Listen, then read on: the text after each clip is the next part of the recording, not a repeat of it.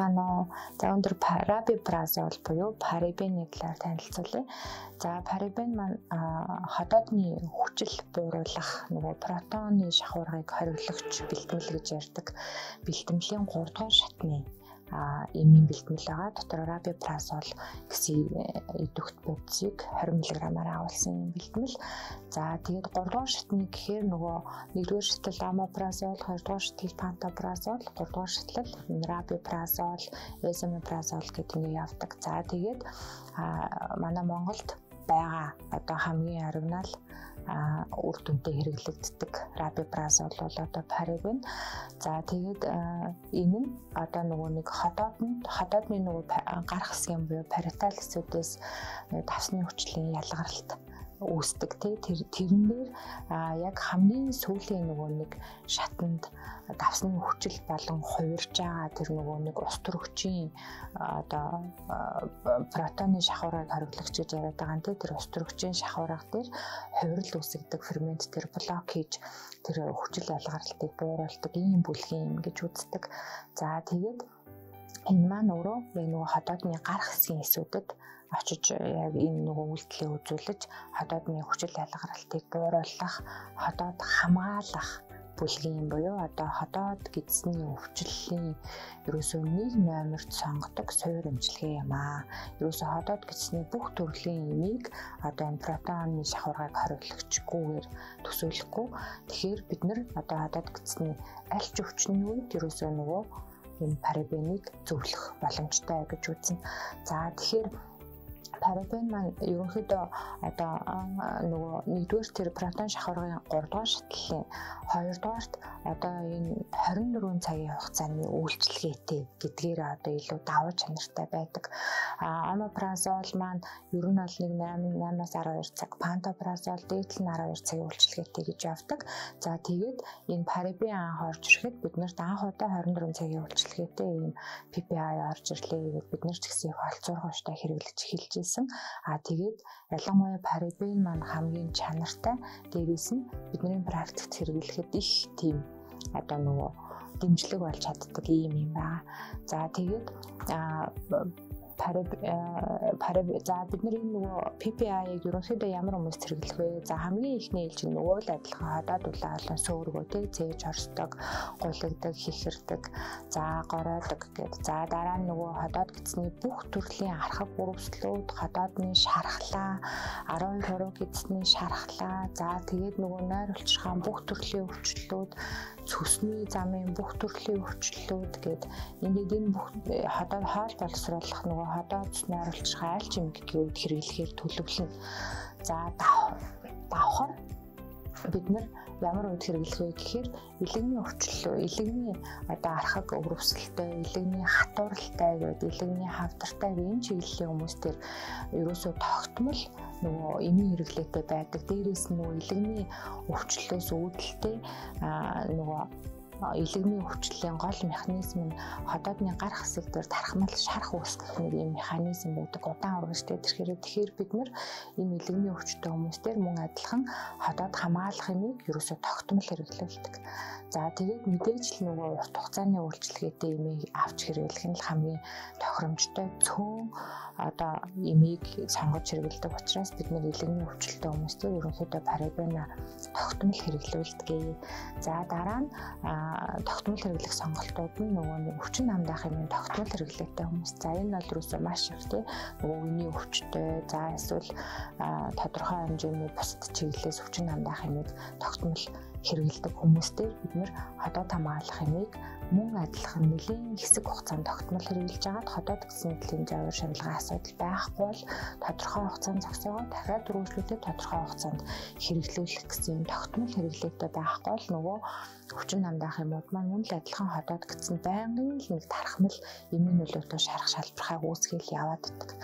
За дараагийн сонголт нь болохоор нөгөө дааврын бэлтгэлөө тогтмол хэрэгэлдэг хүмүүс. За энэ нөгөө мэдээж нөгөө үений сонгомжл хөвчлөлүүд те нөгөө преднислон, метатрексат гэдэг ингээд эднэрийг тогтмол хэрэглүүлдэг хүмүүстээр байнга сонгож хэрэглэе. Тогтмол зөвлөх боломжтой. За дараа нь а юунууд байгаа. Зүрх судасны зүрхний нөгөө эмгэгүүдүүд ялангуяа нөгөө цус шингэлэх хэмээн бэлтгэлүүдийг удаан хугацаагаар хэрэгжилж байгаа хүмүүс дээр мөн адилхан тогтмол хэрэглэнэ гэдэг ингээд зөвлөн ингээ үзэхээр парабен буюу нөгөө хотоодны хүчил бууруулах энэ бүлгийн юм маань зөвхөн хотоод гэсэн хүчлэлүүд үед биш аюу өргөн хэрэглээгээр сонгож хэрэглэх нэ саяны хэлсэн хүмүүст бид нар эхний ээлжээр одоо байнга одоо ингэж суур алгаж хотоодоо хамгаалan шүү гэж төлөвлөж зөвлөж байхад бол болно гэж үзэх нь. За дараагийн хэлэх гол анхааруулах зүйл бол мэдээж нөгөө нэг одоо PPI бүлгийн юм нь хотоод гисний өвчлөл дундаа ялангуяа нөгөө хеликобактерийн эмчилгээн дээр суур алгаж хэрэгэлдэг гол сонголт нэг нь хеликобактерийнхаа эмчилгээн дээр эмчилгээний тунгаар хамт хэрэглэндээ нөгөө хоёр антибиотик хотоодны салстахгүй зэрэг хэмтэй хамт хэрэглэн хеликобактерийн эмчилгээний дараа барих тунгаар заавал 1 сар 2 сар хэрэглэнэ гэдэг ийм зөвлөмж явж байгаа. За тэгээ рапипразол маань болохоор нөгөө лансопразол, ламопразол гэд одоо хеликобактерийн эмэнд хавсарч хэрэглэгддэг адилхан нөгөө PPI-ийнхаа хажууд антибиотикийнхаа нөгөө антибиотикт тэсвэртэй байдлыг хеликобактериас үүсгэх байдал нь илүү бага юмаа гэсэн судалгаанууд яваад байгаа. Мэдээж энэ нөгөө нэг өрөө ходоодны хүчлээ маш сайн саармагчулж үйлдэл нь удаан үргэлжилдэг гэдгээр илүү энэ тал дээр давуу чанар үүсгэж байна гэх. Тэгээ манай Монгол хүмүүсийн ходоодонд байгаа хеликобактерийн хэлбэр төвчин кларитромицин суурилсан одоо антибиотик эмчилгээнд дээр илүү мэдрэг байна гэж яригдаад байгаа шүү дээ. Тэрэндээ одоохондоо төсвөртэй болоогүй гэдэг ийм зүйлүүд одоо нөгөө тодорхой хэмжээний яг нөгөө судалгаанууд яваад бид нэр эндийг зөвлөөд байгаа. Тэгэхээр бид нэр кларитромицин суурилсан эмчилгээнд дээрээ PPI-г рабипразолоос сонгох юм бол арай илүү зөв сонголт болж чадах юм байна гэд сүүлийн судалгаанууд дээр бас харагдаж байгаа учраас бид нар ч гэсэн практикта парабена яг нөгөө хеликобактери эмчилгээнд дээр 40 мг-аараа сонгоод ингэ явж байгаа. За тэгээд хеликобактери эмчилгээний дараа заавал ходоод хамгаалахын нийт 1-2 сар хэрэглэнэ тасралтгүй тэгжээж нөгөө нэг хүчлэг байдлыг саарамжуулж нөгөө бактери маань өсөж олширохгүй эргэн халдвар авсан ч гэсэн аюулын хэмжээнд хүрэхгүй байж болох юм а гэж ингэж үзэж байгаа. За тэгээд саяны хэлсэн тохиолдлууд дээр за эмээ зөвлөх нь байна. За тэгвэл хит хит анхааруулах зүйлүүд байгаа. Ходоод хамгаалах юм маань ерөөсөө нөгөө ходооднд байгаа хүчлэгийг л саармагжуулаад тэнд шүтлэг орчныг үүсгээд байгаа. За тэгэнгүүт бидний нөгөө нэг бусад одоо бүх одоо бусад өвчлөлүүдийн үед хэрэгжилж байгаа нөгөө таблетка юмнууд байгаа шүү дээ. Таблетка юмнууд чинь ерөөсө бүгд юм нөгөө шат дараалтаа задардаг юм үйлчилсэн юмнууд байдаг болсон шүү дээ. Тодорхой бүрхүүл нь ходоодныхоо хүчилд дараа нөгөө нарийн гидсэндээ тэгээ гидсний анаар шимэгдээд үйлдэлээ үзүүлдэг. За тэгэнгүүт ходоод хамгаалах юм нь цус шингэлэх юмнууд те зүрхний цус шингэлэх хим алдагдлын эсрэг юмнууд за нөгөө түрүүний ярьсан преднизолон метотрексат за бусад нөгөө одоо ханиа томооны үед өрөө хэрэглэгдэж байгаа вирус эсрэг юмнууд гэд энэ юмнуудтэй хит ойр хэрэглэх юм бол тухайн юмны үйлдэлийг бууруулж байна сар мөжүүлж байна гэдэг ийм асуудлууд яригдаж байгаа. Тэгэхээр энэ нь нөгөө нэг магадгүй ходоодны өвчлөг хит сар мөжүүлээд ирэхээр нөгөө таблет гэмнүүдийнх маань бүрхүүлийн задралууд нь удаашрчиж болно гэж үзээд байгаа байхгүй. Тийм болохоор хотод хамгаалахыг хизээ зөвлөх вэ гэхээр өглөө үлэн дээрээ тий? Арай унтахын өмнө ерөөсөө л энэ хоёр сонголтын дээр л зөвлөнө. Аа тэгээд ходоод хамгаалах юм ихний тэгээ урьдчилан сэргийлэх тун 20 мг. За урьдчилан сэргийлэх тунгаар хэрэглэе. Зөвхөн өглөө дээр нэг ширхгийг уугаад 20 минутын дараа өглөөний цайгаа уугаарай гэж зөвлөж болох юм тийм. За амжилтны тунгаар гэх юм бол 40 мг, 60 мг байж болно. Гэхдээ 80 мг хүртэл авдаг тийм. Бид нэр аа тэгтээ тэр 60 мг, 80 мг-ны өдрийн ингээл нэг ширхгээр 3 удаа 4 удаа ингэж хувааж ууна гэсэн ойлголт бол байх байхгүй яа. Тэгэхээр бид нэр аль болох энэ ходоодыг хоосон байх, ачаалалгүй байх, дээрээс нь дундах хоолноосоо хол, за дээрээс нь саяны хэрэгэлсэн дэр тогтмол эмүүдээс юм хол хэрэглээч гэж зөвлөх хэрэгтэй байдаг. Тэгэхээр өглөө үлэн дээрээ орой унтахын өмнө гэдэг энэ хоёр сонголтоор л имийг зөвлөх нь бидний саяны нөгөө нэг бусад юмынхаа үйлдэлийг бууруулах нөлөөнөөс ч хол За нөгөө хоол ундныхаа боловсрол чимэгдэлтээс чухал ингэж төлөвлөх боломжтой гэсэн үг. Тэгэхгүй болохоор ихэнх одоо эмээ сангууд яг хизээ хэрэглэх юм бас хэлж өгдөггүй. Тэгэнгүүт нөгөө хүмүүс маань хоолтойгоо хитээр хэрэглэдэг ч юм уу эсвэл зөвхөн нөгөө өвчин намдаах эмээ уухахаа өмнөхөн хэрэглэдэг ч юм уу цус шингэлэх эмнийхээ өмнөхөн хэрэглэж юм бол үйлдэл нь буураад нөгөөний бусад эмээ маань гол эмнүүдийнх нь нөлөөнүүд нь буураад явчих нэ гэдэг бас маш сайн анхааруулах нь. Тэгэхээр өглөө өлөн орой унтахын өмнө гэдэг л хоёр сонголт нь хамгийн зөв. Тэгээ хоногт авах тунгийн яг 2 хуваагаа л тэр хоёр үедээ унаа гэдгээр нь төлөвлөчгөд болно гэсэн үг.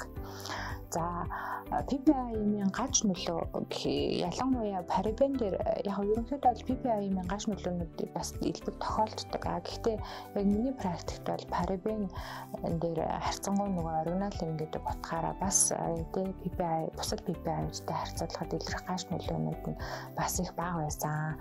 За гол илэрх мэдээж яг нөгөө ерөнхий имийн илэрдэг гаж нөлөөнүүд бол байна тий нөгөө дотор муу хаардаг гүйлэгдэг толгой оригдаг барьдаг гэдэг ингээ асуудлууд нь байдаг. За гэхдээ тэр нь ихэвчлэн ходоод гидсний өвчлөл одоо нөгөө эмнүүд дээр бусад юмтай харьцуулахад ийм хүү гаж нөлөөнүүд нь аюу бага илэрдэг. За PPI-ийн гол анзаарэгдсэн гаж нөлөөнүүд гэхээр арх цахаас алт цахтнах ялангуяа юм хэсэг газрыг хамарсан захтнаанууд эсвэл арсны өвдрөг тууралт гарах а эсвэл нөгөө харьцал тавчдах гэсэн ийм гаш нөлөө бидний практикт илүү ажиглагдчихсэн. Тэгэхээр мэдээж тэг энэ юм нь бас хэд мэдрэг хүмүүстэй ийм шинж тэмдэг илрүүл яралтай амьдлах хандаарай, тухайн амийг цогсоогоорой гэдгийг бас анхааруулж хэлж өгөх нэ.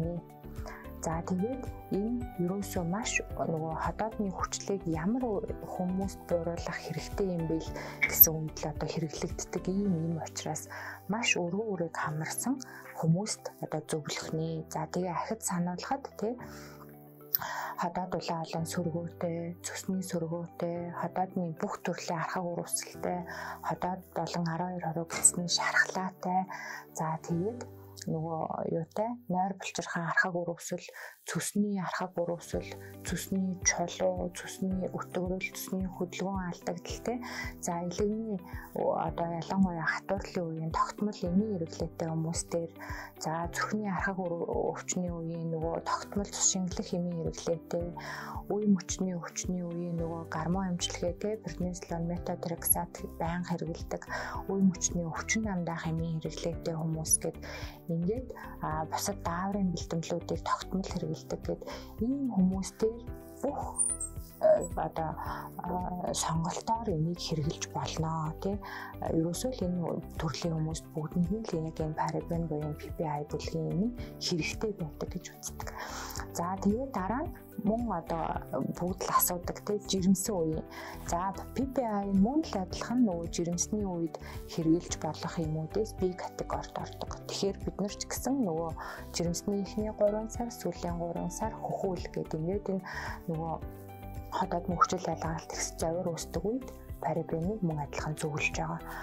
За хүүхдэд ч гэсэн бас хэрэглэх яг нөгөө олон улсын заалт югаараа мэдээж нөгөө 8-аас доош 10-аас доош насны хүүхдэд хэрэглэхгүй гэж ингээл ярьж байгаа. Гэхдээ бид нар одоо нөгөө манай Монголын нөхцөлд болохоор ходоодны архаг урвсал хоолундтай холбоотойгоор ялангуяа нэг 8-аас 15 насны 10-аас 15 насны хүүхдүүд илүү их өвдөөдийн тэгэхээр биднэрт хамгийн удаан хугацааны нэг удаагийн тунгаан аваад удаан хугацаагаар нөлөөлөх хамгийн гаж нөлөө багта оригиналын сонголт хүүхдүүдэд юу яаж болох вэ гэхээр мөн адилхан л бид нарын одоо практиктаа бол парабенийг сонгоод хэрэгжилж байгаа.